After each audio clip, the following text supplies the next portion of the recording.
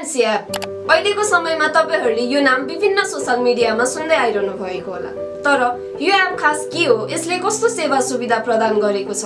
र यसलाई कसरी प्रयोग गर्न सकिन्छ भन्ने कुरा पक्कै थाहा छैन होला। र थाहा पाउनको लागि यो भिडियो अन्तिमसम्म हेर्नु होला। काठमाडौँ महानगरपालिकाका मेयर बालेन शाहले काठमाडौँ नगरवासी र महानगर बीचको दूरी घटाउन र सर्वसाधारणलाई सहज रूपमा अधिकतम अनलाइन सेवा उपलब्ध गराउने उद्देश्यले केएमसी सेवा प्रवाह नामक एप सुरु गरेका बताएका छन्। र यस एपका डेभलपर मनोहर भट्टराई हुन्। केएमसी सत्रका अध्यक्ष नवीन मानन्दरका भनाइ अनुसार सेवाग्राहीले कुनै पनि कागजात र सिफारिस तत्काल प्राप्त गर्न सक्नेछन् र साथै केएमसीका सबै ओडाका अध्यक्ष तथा कर्मचारीलाई एप प्रयोग गर्न तालिम दिइसकेका छन्। केएमसी एपले प्रदान गरेका सेवाहरू यस प्रकार रहेका छन्। तीस भन्दा बढी प्रकारका सिफारिसहरू अनलाइन राजस्व नगर प्रमुखसँग भेटघाटका लागि अपोइन्टमेन्ट च्याटबोट महानगरको बारेमा विभिन्न सूचना तथा समाचारहरू विभागत कार्य विवरण सहितको डिजिटल नागरिक ओडापत्र हेलो मेयर जनगुनासो स्मार्ट कर प्रकाशित राजपत्रहरू पर्यटकीय स्थलहरू आकस्मिक सेवाहरू जस्तै रगत एम्बुलेन्स दमकल तथा प्राकृतिक प्रकोप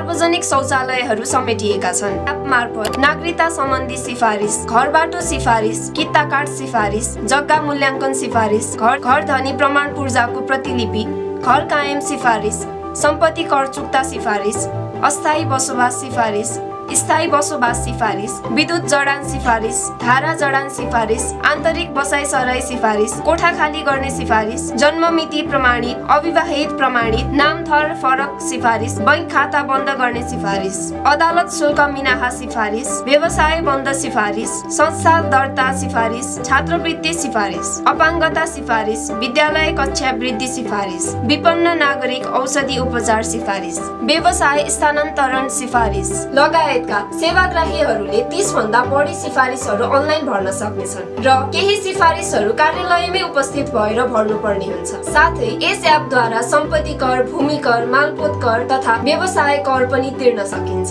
जसमा ई सेवा खल्ती आयामी पे प्रभु पे जस्ता अनलाइन पेमेन्ट गेटवेको पनि सुविधा छ। यो एप युज गर्न सुरुमा गुगल प्ले स्टोर वा एप स्टोरमा जानुहोस् र केएमसी एप सर्च गर्नुहोस्। सर्च गरेपछि तपाईँहरूले काठमाडौँ मेट्रोपोलिटन भन्ने एप देख्नुहुन्छ र त्यसलाई इन्स्टल गर्नुहोस्। एप इन्स्टल भएपछि त्यसलाई ओपन गर्नुहोस्। ओपन गरेपछि तपाईँहरूले काठमाडौँ मेट्रोपोलिटनको स्मार्ट एपको पहिलो पेजमा यस एप्स मार्फत तपाईँ र काम्पाको दूरी अझै कम गर्ने हाम्रो अठोट हो भनेर लेखेको देख्नुहुनेछ। त्यसै गरी आफ्नो मोबाइलको स्क्रिन सार्दै थप अन्य तिनवटा पेज देख्नुहुन्छ जसको दोस्रो पेजमा काम्पाको सबै विभागीय विवरण यी सिफारिस घरमै बसी ओडाका सिफारिस लिनुहोस्। हेलो मेयर जनगुनासो जस्तो अन्तर्क्रियात्मक मोड्युल छ। र साथै योजना ओडापत्र राजपत्र र अन्य सबै जानकारी एकै ठाउँमा छ। अर्को पेजमा एप्स कसरी प्रयोग गर्ने भन्ने बारे भिडियो र अन्य जानकारी एप्सको मेन्युमा राखिएको उल्लेख छ। त्यस्तै अर्को पेजमा परीक्षण कालको बारेमा चर्चा गरिएको छ। यस एप्स केही समयका परीक्षण कालमा रहनेछ। परीक्षण कालमा केही सुविधाहरू सीमित रहनेछ र यहाँको सुझाव महत्त्वपूर्ण रहनेछ भनेर लेखिएको छ। क्रमशः अर्को पेज भन्नेमा क्लिक गर्नुभयो भने महानगरपालिकामा आज भन्ने विवरण छ। विभिन्न विभाग तथा कार्यक्षेत्रको जानकारी प्रस्तुत गरिएको छ। यहाँ तपाईँहरूले देख्नुहुन्छ प्रशासन स्वास्थ्य राजस्व सहरी व्यवस्थापन वातावरण वा कृषि शिक्षा सूचना प्रविधि लगायत धेरै विभाग र कार्यक्षेत्रहरूका नाम प्रस्तुत छन्। त्यसै गरी सञ्चारमा हेलो मेयर जनगुनासो इजलास छ भने सेवाहरूमा ई सिफारिस र स्मार्ट कर छ। साथै तल जानकारीमा दिइएको प्रतिनिधि वा कर्मचारीमा क्लिक गर्नुभयो भने प्रतिनिधि कोठामा महानगरको कुन कुन ओडामा को को व्यक्तिहरू कुन पदमा कार्यरत हुनुहुन्छ भनेर उहाँहरूको फोटो सहित नाम पनि सजिलै थाहा पाउनुहुन्छ। र कर्मचारीमा क्लिक गर्नुभयो भने महानगरपालिकाका प्रमुख व्यक्तिहरूको मोबाइल नम्बर सहित उहाँहरूको नाम पनि देख्नुहुन्छ र काम पाएको कति नम्बर ओडामा कुन पदमा को व्यक्ति हुनुहुन्छ पनि थाहा पाउन सकिन्छ। त्यसै गरी नागरिक ओडा पत्रमा क्लिक गर्नुभयो भने त्यहाँ काठमाडौँ महानगरपालिका र यसभित्रका ओडाहरूलाई पेपर लेन्स बनाउने हाम्रो अभियान हो भनेर लेखिएको छ जसमा विभिन्न क्षेत्रमा घरमै बसेर कुनै पनि सिफारिस दिन सकिने सुविधा छ।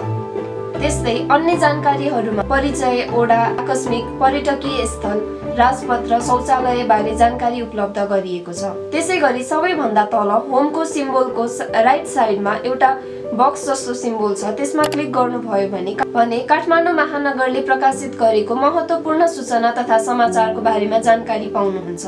र सबैभन्दा तल राइट कर्नरमा मान्छेको सिम्बोल जस्तो छ। त्यसमा क्लिक गरेर लगइनमा फेरि क्लिक गर्नुहोस् र आफ्नो इमेल आइडी वा मोबाइल नम्बर र पासवर्ड हालेर लगइन गर्न सक्नुहुन्छ। तर यदि लगइन गर्नुभएको छैन भने दर्ता फारममा क्लिक गरेर त्यहाँ सोधिए अनुसार आफ्ना केही जानकारी र साथमा आफ्नो एउटा फोटो हालेर पठाउनुहोस्मा क्लिक गर्नुहोस् र त्यसपछि आफ्नो सम्पूर्ण विवरण भरि पासवर्ड पनि सेट गरेपछि तपाईँहरूको मोबाइलमा एउटा ओटिपी कोड आउँछ र त्यो कोड हालेपछि तपाईँहरूको प्रोफाइल भेरिफाइड हुन्छ। त्यसरी नै घर बसी बसी केएमसी एपको सुविधा लिन सकिन्छ। आजको लागि यो भिडियो यति नै रहेको छ र भिडियो बनाउन धेरै नै मेहनत लागेकोले भिडियो मन परेको छ भने लाइक गरी आफ्नो प्रतिक्रिया कमेन्टमा दिनुहोला। साथै भिडियोलाई सक्दो सेयर गरी केएमसी एपको जानकारी आफ्नो घर परिवार इष्टमित्र साथीभाइ र आफन्तहरूलाई पनि दिन नबिर्सनुहोला। आगामी दिनमा यस्तै एजुकेसनल भिडियोज हेर्नको लागि वाइएफए नेपालको च्यानललाई सब्सक्राइब गर्न सक्नुहुन्छ। र आजको लागि म बन्दिता थापा बिदा हुन चाहन्छु। धन्यवाद।